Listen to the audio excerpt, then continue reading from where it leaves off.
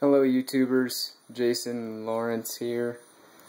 I've been doing quite a lot of research online thanks to all those that contribute their alcohol stove ideas to include soda pop or beer can alcohol stoves and uh, I do have an alcohol stove. My wife and I in an effort to kick the fossil fuel habit are trying to uh, remove gasoline from everywhere in our life. And the ability to use alcohol in the backcountry is of significant benefit to us. The challenge we face, though, is in the winter being able to boil water. And um, the uh, alcohol stove is relatively slow in doing that. Six to eight minutes is a typical boil time. So, as is common with testing uh, these systems, we're looking here at about five minutes to boil just over, and I don't know if you can see, just over 500 milliliters in this titanium pot. And it's we're just starting to get some fisheye bubbles. Um, anyone who owns a WhisperLite MSR, uh, if you've ever tried to use alcohol, and this is 91% uh, isopropyl, I'll get the bottle. If you've ever tried to use alcohol your stove probably just hissed and sputtered. Um, here's the bottle. Simple Walgreens isopropyl 91%. And that was our first trial. As a result of some of the stoves that we've seen, the coil stoves, I figured there's got to be a way to get this system to run alcohol and I'm willing to accept the challenge. There's a couple of O-rings, uh, one in this valve, and then another in this interface here that goes in the aluminum block into the, the pump body. Um, if the alcohol is going to impact those seals, we'll probably carry a couple in the back country. Uh, I'll show you the, now that it's starting to boil pretty good here, I'll show you the flame and uh, that's a pretty nice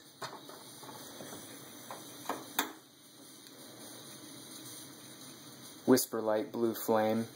So folks that were doing the copper coil alcohol stoves, brilliant, and I figured the MSR is exactly that. It's a coil of pipe. Uh, and the, there's one gentleman who offered the specifications of the hole he drilled, and he said it was 0.8 millimeters. So I translated that to about a 32nd of an inch drill bit, or a number 68 was what our hardware store had. And started drilling out the jet by hand. Put the bit in between my fingers. He recommended using a pin pin clamp, I think he called it, or a pin vise. Um, if you're going to do a lot of these, I recommend it. I found eventually that I could put the, the K valve, because we never use the K valve. These stoves come with two valves. Uh, if I put the K valve in our drill uh, and clamp it and then just hold the bit in my finger, I could spin the jet and just gently feel how the bit was making progress through the valve and was able to drill out a K valve to about 0.8 millimeters or roughly 1 32nd of an inch bit. Uh, if you try to do put the bit in your drill, it simply won't fit. Um, and here we go. Now we've got a nice rolling boil. Again, this is just over 500 milliliters, and I did take it off, so 8 minutes is, is an unfair assessment. And uh, if you're going to do a real strong comparison of stove and boiling time.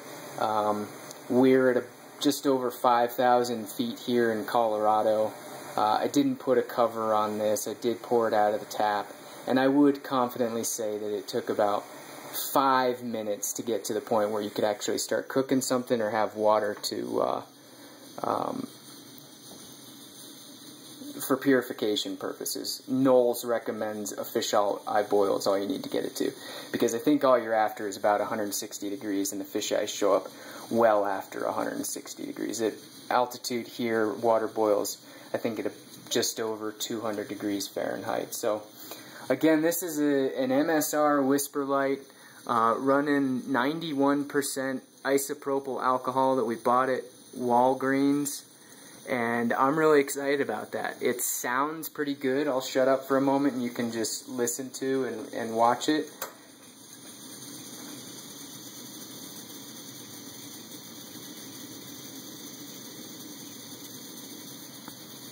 It's not as loud as running white gas, but that flame dispersion is beautiful. This is exactly the kind of thing, if I turn it up a bit, um, you can see it start to peak out, and then I think at a point, I saturate that valve and it'll start spitting out um, liquid as opposed to vapor. You can hear it sputtering. So it's within the adjustment range of the MSR valve.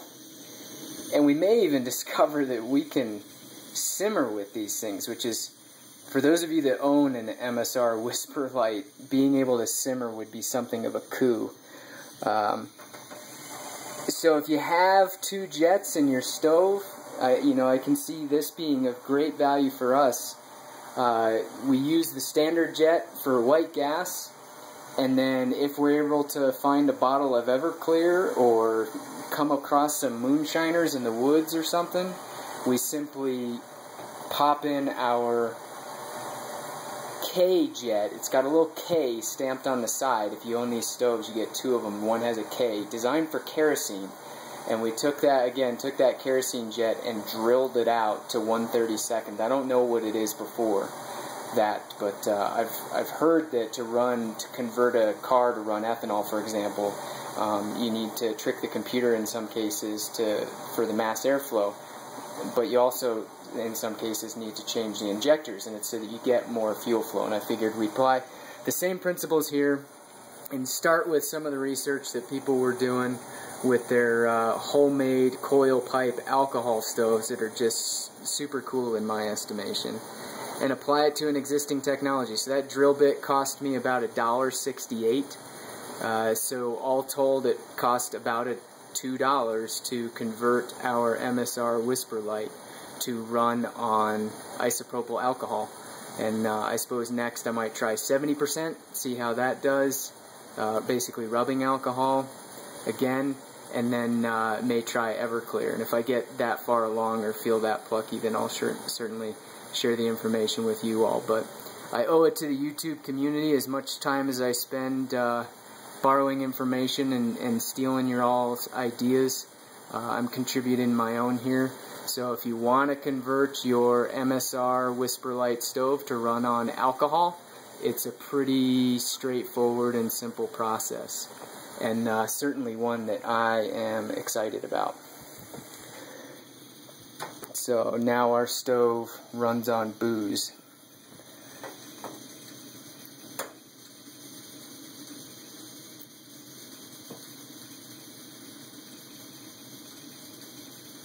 That's all I've got. Thanks for tuning in. And uh, if you have any ideas or suggestions, please share them in the comments section.